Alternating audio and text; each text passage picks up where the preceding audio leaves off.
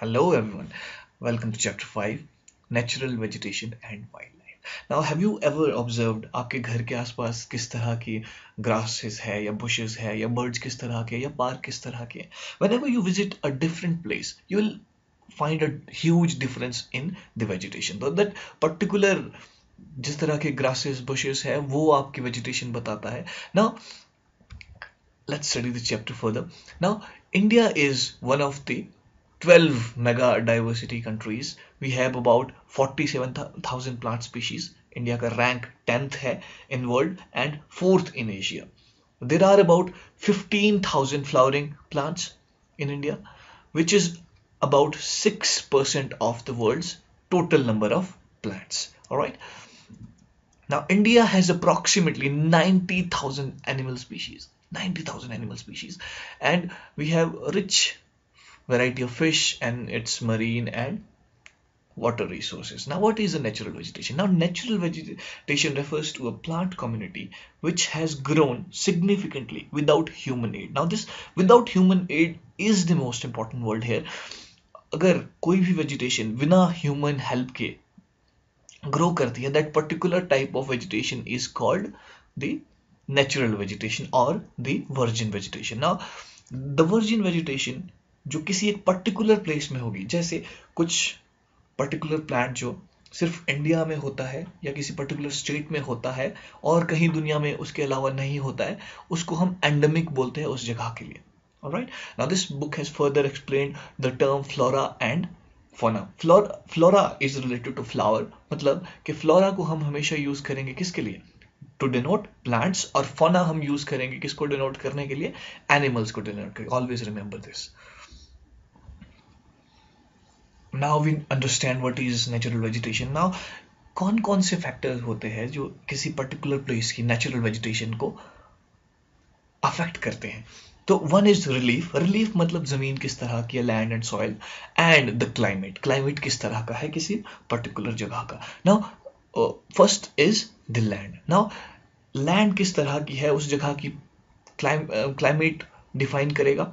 Right और ये सब फैक्टर्स डिसाइड करेंगे कि नेचुरल वेजिटेशन किस तरह के होते हैं। Now you you there is this example कि प्लेन्स में अलग तरह की वेजिटेशन होगी प्लेट्यूज में अलग होगी या माउंटेन्स में अलग होगी। Now the land is a major factor here now next one is the soil ना सॉयल किस तरह से इफ़ेक्ट करती है? जो भी अलग अलग सॉयल होती है, उसकी डिफरेंट प्रॉपर्टीज़ होती है। और वो डिफरेंट तरह की वेजिटेशन को सपोर्ट करती है। नाउ दिस इज़ कि जो सैंडी सॉयल है डिजर्ट्स की, जो कि राजस्थान और गुजरात में है, वहाँ किस, कौन सी वेजिटेशन को सपोर्ट करती है? कैक्टस या थॉर्नी बुशेस को।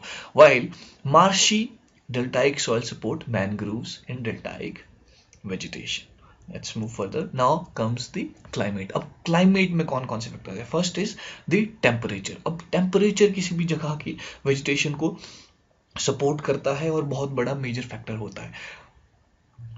Because it defines humidity in the air precipitation and soil now you see the on the slopes of Himalaya the hills of peninsula above the height of 915 meters, the fall in temperature affects the type of vegetation and its growth. You see, जो tropical जो vegetation है, जो equator के पास वाले region है, वहाँ पर टेम्परेचर बहुत ज़्यादा होता है और वहाँ पे बहुत ज़्यादा थिक वेजिटेशन कवर होता है। जैसे जैसे आप इक्वेटर से दूर जाते हो it also affects the vegetation या फिर आप ओशन से जैसे जैसे ऑल्टीट्यूड में आपका वेरिएशन आता है, वो भी आपकी वेजिटेशन को चेंज करता है। Now in climate which is very important is photoperiod photoperiod मतलब सनलाइट कितनी मिलती है किसी जगह को। जितनी ज़्यादा सनलाइट मिलेगी किसी पर्टिकुलर प्लांट को, उतना ज़्यादा जल्दी वो ग्रो करता है।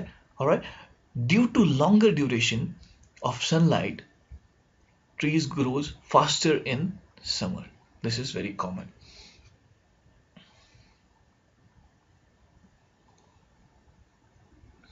Now this book has further explained कि vegetation zone किस तरह का Let's see. This is the tropical. Tropical में क्या होता है? Above 24 degree temperature mean annual mean temperature in January is 18 degree तो वहाँ पर no frost you can read the stable subtropical में किस तरह का होगा टेम्परेट में किस तरह का होगा एंड इन एल्पाइन किस तरह का होगा। Right let's move further now comes the precipitation in climate now precipitation is कि रेनफॉल कि बारिश या पानी किस किस तरह से मिलता है प्रेसिपिटेशन उसको बोलते हैं। In India almost the entire rainfall is brought by the southwest monsoon जो कि जून से सितंबर में होता है and retreating monsoon which is in northeast monsoon areas of heavy snowfall have more dense vegetation as compared to other areas of less rainfall now, forests are renewable resources and play a major role in enhancing the quality of environment. They modify local climate, control soil erosion, regulate stream flow, and support a variety of industries and provide livelihood for many communities and offer panoramic and scenic view for recreation. Now further, it provides human to the soil and shelter to the wildlife.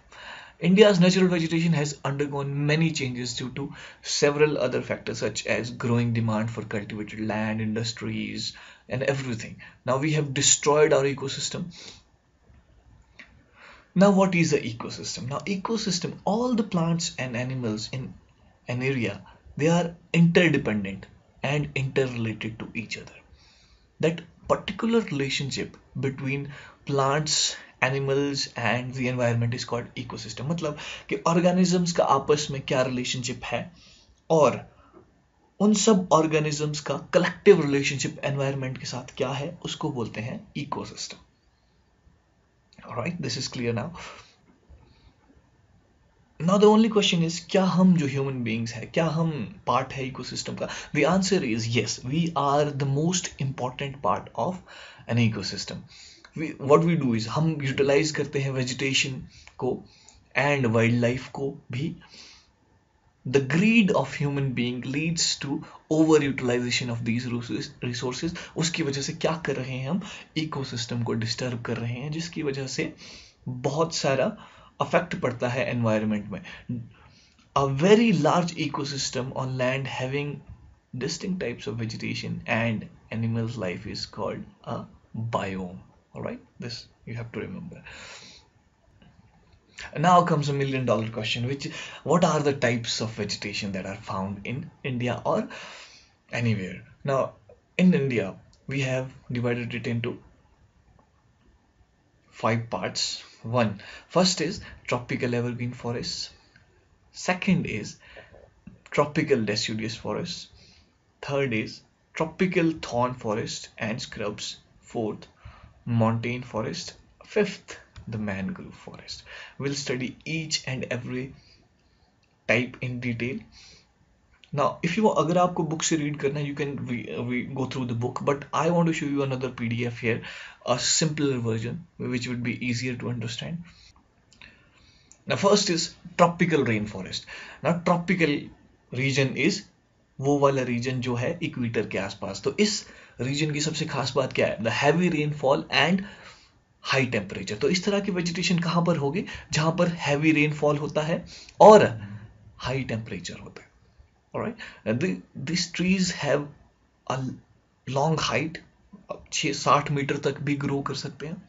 Since it is warm and wet throughout the year it has all types of vegetation यहाँ पर vegetation cover इतना ज़्यादा होता है कि sunlight बहुत कम chances रहते हैं कि पास करे ग्राउंड तक ना यहाँ पर हर तरह की वेजिटेशन होती है shrubs bushes creepers etcetera this forest are green throughout there the most important is these are green throughout the year and they are also called evergreen forest now what are important trees ebony mahogany rosewood and rubbers are the most important animals यहाँ पर बहुत ज़्यादा तरह के animals found किए जाते हैं elephant monkey lemur deer are very common here now let's study the tropical deciduous forest now tropical deciduous ये deciduous जो word है ये बहुत ज़्यादा important है इसका ये मतलब है कि ये जो trees है ये shed करते हैं leaves किसी particular dry region में ताकि survive कर सके इनको monsoon forest भी बोला जाता है and they shed their leaves during a dry season. Now, they are found between 70 centimetres to 200 centimetre ये जो रेनफॉल के बीच में फाउंड करते हैं now they are further divided into two moist and dry deciduous now moist deciduous जो forest होते हैं, वो कहाँ पाए जाते हैं? 100 से 200 सेंटीमीटर के बीच की जो बारिश होती है, वहाँ पर पाए जाते हैं moist deciduous forest and these are mostly found in the north eastern part of the country along the foothills of Himalaya जो शिवालिक हिल्स है, वहाँ पर पाए जाते हैं। Jharkhand west Orissa Chhattisgarh and eastern slopes eastern slopes of Western Ghat this is important eastern slopes of Western Ghat किस तरह की वेजिटेशन होती है वहाँ पर? Tropical moist deciduous forest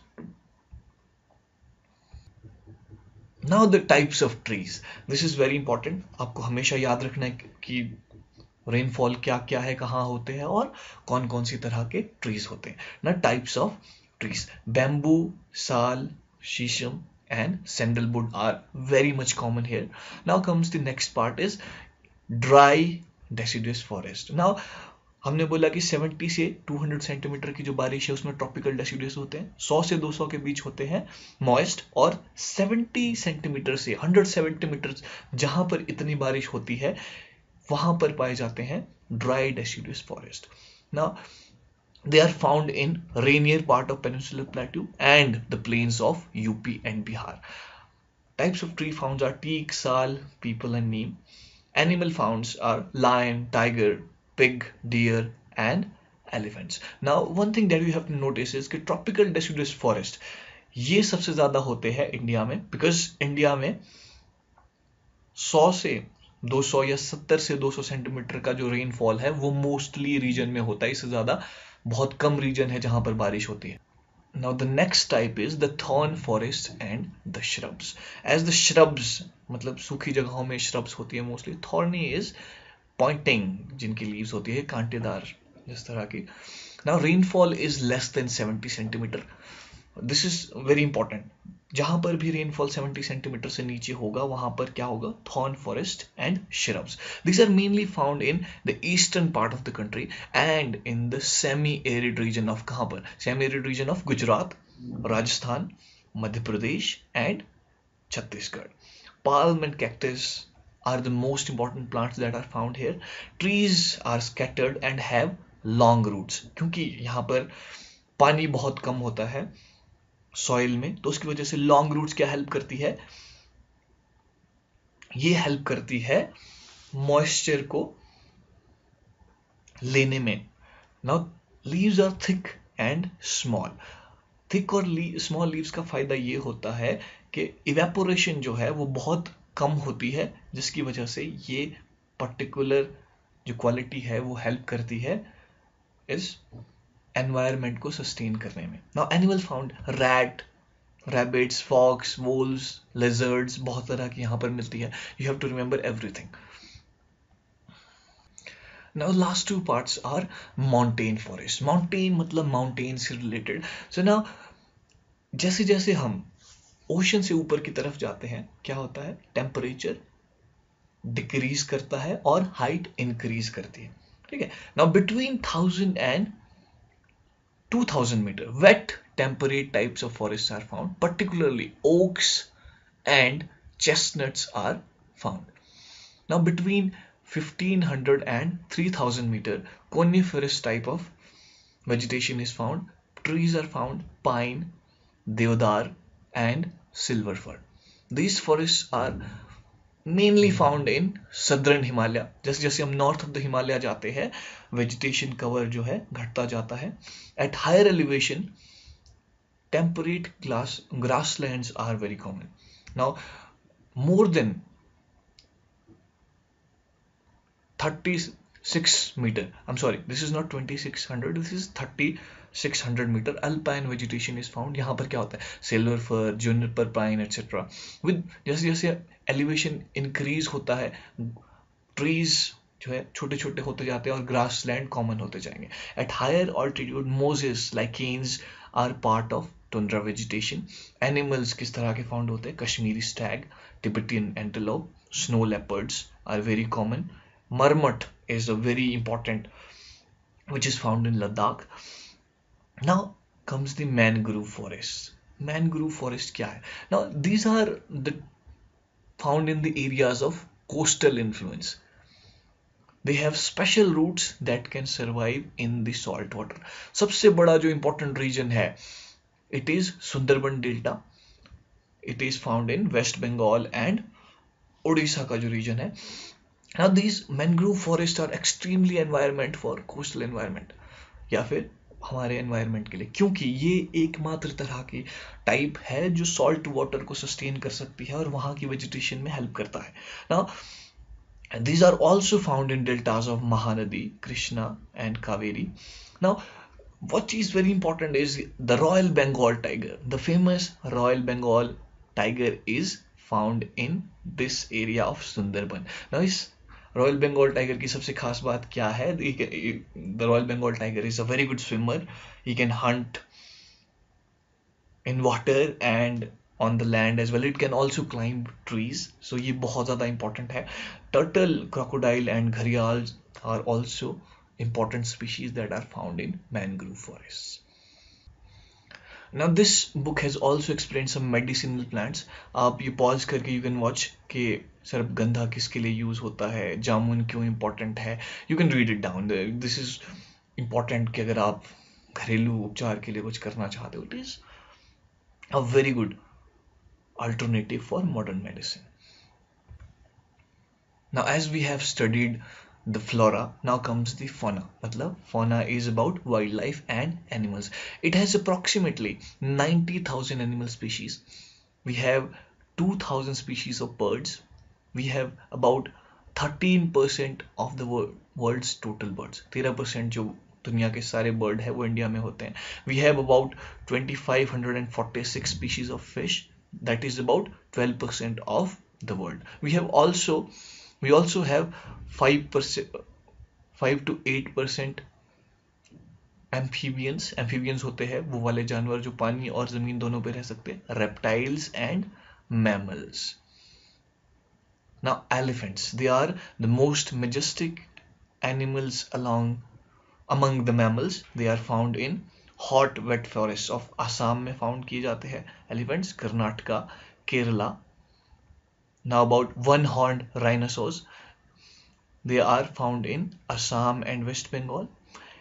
Arid areas of Kutch and Thar deserts are habitat of for wild ass and camels.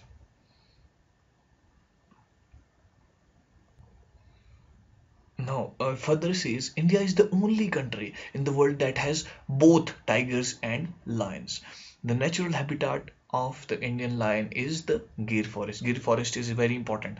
Tigers are found mostly in Madhya Pradesh, Sundarban of West Bengal, and the Himalayan region.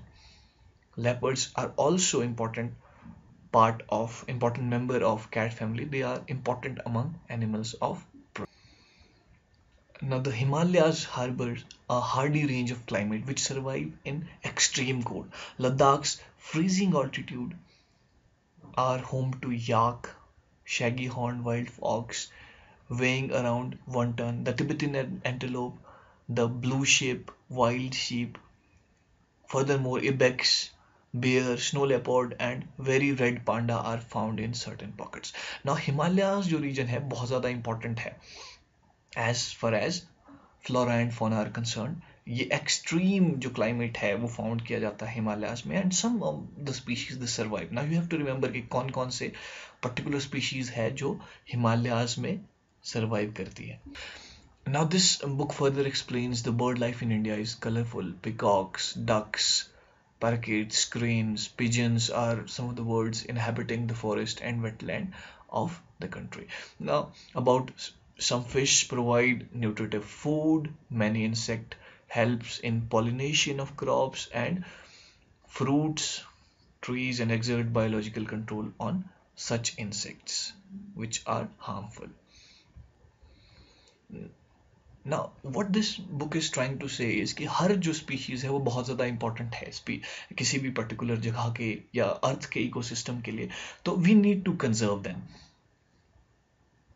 Now, due to excessive exploitation of plants, animals, and resources by human beings the ecosystem has been damaged and we are continuing this process अगर ऐसा ही चलता रहा तो food chain is most likely to be disturbed and some of the species will be extinct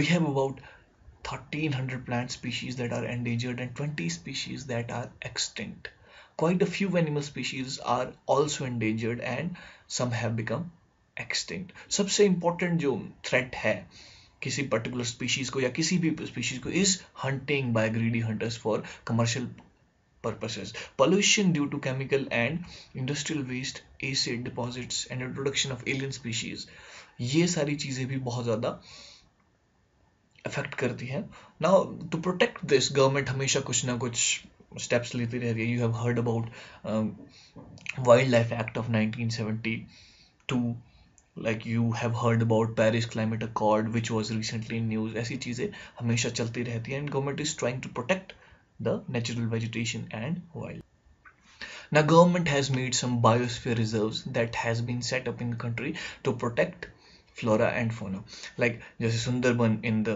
West Bengal, Nanda Devi in the Uttarakhand, Gulf of Mannar in Tamil Nadu, and Nilgiris combined Kerala, Karnataka or Tamil Nadu have been included in the network of biosphere reserves. Now to further conservation, we have financial and assistance uh, technical assistance which is provided by botanical gardens by the government since 1992 now these are the 14 biosphere reserves ये आपको सारे याद करने हैं you will see in the picture now further project tiger project rhino project great Indian bustard and many further eco development projects have been introduced we have about 89 national parks 490 sanctuaries and zoological gardens are set up to take care of natural heritage. All of us must realize the importance of natural resource for our own survival. Now, with this, we come to end of the chapter. Now, please answer these questions in the comment section below. To which of the following types of vegetation does rubber belong? This is tropical evergreen. Now, comment in the section below if you like the video. Please give a thumbs up. Thank you for watching.